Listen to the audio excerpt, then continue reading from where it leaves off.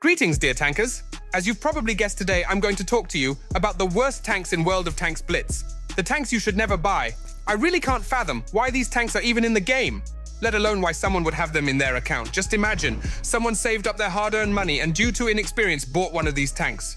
Now they're sitting there regretting their decision with tears in their eyes. To prevent that from happening to you, I've decided to introduce a new segment on my channel. I'm going to create a whole playlist called Blitz Bastards and regularly make videos like this. After all, there are more than 160 premium tanks in our game, and at least half of them are just plain awful, to the point where it makes you want to cry. To make this video, I had to endure quite a few battles in these tanks, and during the game, I just wanted to uninstall the game, but when I finally managed to play a sufficient number of battles in each tank, I needed some serious help. You know. In short, I've invested a lot of time and nerves into creating this video, and I hope you enjoy it and consider subscribing to my channel. My goal is to reach 10,000 subscribers by the new year but it all depends on you. So get some snacks and drinks ready, and I wish you a pleasant viewing experience. But before we start, there will be a short advertising break. Let's go. Let's go.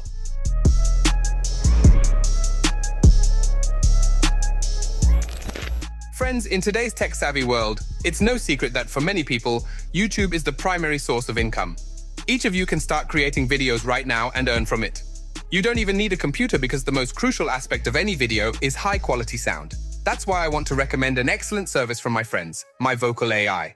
This service uses artificial intelligence and can replicate your voice or any other voice in just a few clicks. All you need to do is record 25 phrases or upload an audio file with any voice and the neural network will create an exact copy. After that, you can use your voice to narrate any text or even listen to how you sing different tracks. And now I beg to see you dance just one more time.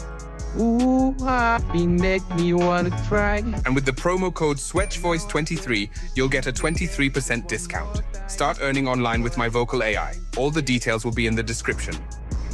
Friends, before we dive into this circus of abominations, I'd like to make it clear that this top list is purely my subjective opinion and may differ from yours. However, comments are always welcome, and you can also suggest which tanks you'd like me to feature in the next video. Let's start with the first tank that kicks off today's parade of catastrophes and that's the AT-15A, a premium tier 7 tank. Though it's a stretch to call it a tank, it's more like a leaky tub. This is how you'll be moving around in this bucket if you ever decide to buy it. Because the maximum speed of this British bucket is only 20 kilometers per hour. You'll be crawling across the map at the speed of a sleepy snail, and will arrive at the flank as the very last one. And that's if you're lucky and all the enemies happen to be headed in the same direction. If not, well, But that's not all. If an enemy sneaks up on your rear, get ready for the worst. Welcome to the club, buddy. Because this bucket can spin even heavy tanks around, let alone light and medium tanks. Well, someone might think, what does it matter that it's slow? It has armor, right? To those people, I have just one question. When will help arrive for you? Well, okay, I used to think at first that this bucket could actually tank. But in reality, it's quite the opposite. Everyone and their grandma will penetrate you because you have a huge bump on your head that can easily be pierced, even by lower tier tanks. So I wouldn't count on the armor of this tank, and in fact, I wouldn't risk adding this British bucket to my garage. The only good thing about it is the high damage per minute. Every three and a half seconds, you'll be dealing 200 damage to the enemy. But even that won't help you get rid of the nagging thoughts and regrets after the purchase. I don't know what else to say about it. So let's move on to the next tank. Angry Connor. Now, many of you may want to throw stones or dislikes at me after this, but remember, it's just my subjective opinion. Yes, the tank has an astonishing credit earning potential, and it can fill your coffers even better than some tier 8 tanks boasting a whopping 230% credit coefficient. But this money-making opportunity will come at the cost of severe pain and suffering because driving this tank feels like being a tortoise. Forward, this contraption can only manage 12 kilometers per hour, while in reverse, it can reach a whopping 32 kilometers per hour. It's incredibly inconvenient, and sometimes in battle your patience will wear thin, forcing you to turn around and head towards the enemy in reverse. During this maneuver, you risk being blown up at any moment, and trust me, high explosive shells are your worst enemies because this tank has absolutely no armor. Playing Angry Connor requires extreme caution. A tank like the KV-2 can send you back to the garage with a single shot, and they don't even need to load a high explosive round. So, stick to the second or even third line, shooting from the bushes, and luckily, you can get there without turning around. Playing like a rat is the way to go for this tank because the gun here is where it shines. Excellent accuracy, great damage per minute, and incredible penetration for a tier 5 tank. Its credit earning potential and gun are its only pros. Everything else is simply horrendous, and playing this tank is pure agony. If you're a masochist, then you're in luck, and I can recommend this tank for you. Before we move on, I have a small request for you. I would like you to hit the like button and leave a comment. This will help the video get recommended to more people, preventing them from ever buying these terrible tanks. Now, let's continue. In third place, we have the French cockroach of Tier 7, the AMX 1357. Why do I call it a cockroach, you might ask? Well, because it's small and annoying, infuriating both enemies and those who play it. It all comes down to its gun, which is hard to even call a gun because it has a laughable caliber of 57 millimeters. And yes, you heard that right. It's a tier 7 tank. With a measly 90 damage per shot, it won't intimidate anyone. Your opponent might think you're not shooting, but rather blowing air in their direction. Well, not everything is that bad. At least the intra-clip reload is just one second. I thought the same until I played a battle with it. In reality, it's just dreadful. You'll have to spend a lot of time unloading all the shells, all the while risking getting shot in return because you have to constantly stay in front of your opponent, shooting, shooting, and shooting. But that's not all the problems with this gun. Due to its small caliber, your penetration is weak, and you'll need to load premium rounds frequently, which significantly affects your credit earnings after a battle. Well, we've talked about the blowing air gun. What about armor? Right, there isn't any. So maybe it's fast? Yes, there's something good about this cockroach. It's relatively fast and accelerates quickly, but it's far from being the fastest among light tanks. Its top speed of 61 kilometers per hour is even somewhat embarrassing for a tank like this. Okay, let's move on. In fourth place, we have another sluggish monstrosity called the VK168.01P. This tank is dreadful both in appearance and in performance. It's like a subpar Maus at tier 8, incredibly slow and unwieldy, with a top speed of just 20 kilometers per hour. But with a whopping mass of 168 tons, what can you really expect? However, there are some pros to this, for instance, in gravity mode, it can ram opponents hard. But why bother with this when the KV-5 is almost better in every aspect? It's so slow that you'll often arrive at the flank last.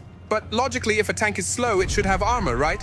On one hand, this tank does have armor, and it's not bad at all. You'll frequently bounce shots and be able to break through enemy positions, leading your team to victory. But it's not as smooth as it may seem. The armor has plenty of weak spots. For instance, everyone will penetrate the lower frontal plate, and if you hide behind cover, shells will automatically find their way into your commander's cupola. You can try angling, but on this unwieldy hunk of metal, it's unlikely to work. Plus, considering the size of this tank, which is roughly the size of two buses, you'll be spotted from the other end of the map, making it easier for enemies to hit you. As for the gun, it looks decent on paper, but in reality I wasn't too impressed. It can deal a hefty punch of 460 damage, but the long reload time and terrible accuracy won't let you dominate without effort. The damage per minute is a pitiful 1900, which is critically low for a tier 8 tank. In PvP, any tier 8 heavy tank will wipe you out, and by the time you reach your position, you'll have lost half your hit points. I recommend buying this bucket only for gravity mode, and those events are quite rare, so it's better to get the KV-5. It's cheaper and more interesting. Let's move on. And the cherry on top of this iceberg is another lumbering monstrosity with a highly patriotic camouflage, the T-28 HTC. I think you've already noticed the pattern that most of these terrible tanks have poor maneuverability, and it's no surprise because in our game, speed is essential for quickly getting out of trouble. The T-28 HTC is incapable of that. When it first appeared in the game, it seemed like a well-armored tank, but over time, everyone learned how to penetrate its cheeks, even a 40% newbie won't have trouble aiming at those two grey bumps that you can't hide. To make matters worse, it simply doesn't move. With a maximum speed of only 29 kilometers per hour and weak acceleration, you could watch a movie while you drive to the flank. God forbid the enemies end up in a different direction. You might as well accept that the battle is lost because by the time you get back, it's either a victory or the entire enemy team killing you as the last survivor. The only thing that can save you from a fast enemy is the gun, which has decent horizontal gun arc flexibility. However, it doesn't aim up or down, which can be quite uncomfortable when playing this soda can. Moreover, the low damage per minute of just 2,400 is insufficient for a Tier 7 tank destroyer. The single shot damage is tolerable at 310, but the penetration is not the highest, which means you'll have to use premium rounds, further reducing your credit earnings. Although to be honest, the credit earnings on this tank are already pretty low. In short, this tank is dreadfully slow, with average firepower and armor. It won't dominate anyone in random battles and will likely be the one taking hits in every match. I don't recommend buying it, or any of the other tanks in this video for that matter. However, it's your money and you have the final say on how to spend it. I hope this video has been useful and most importantly interesting for you. Once again, I'd like to remind you to share your opinions about these tanks in the comments and suggest which tanks I should include in the next video. Thanks for watching and see you soon. Goodbye.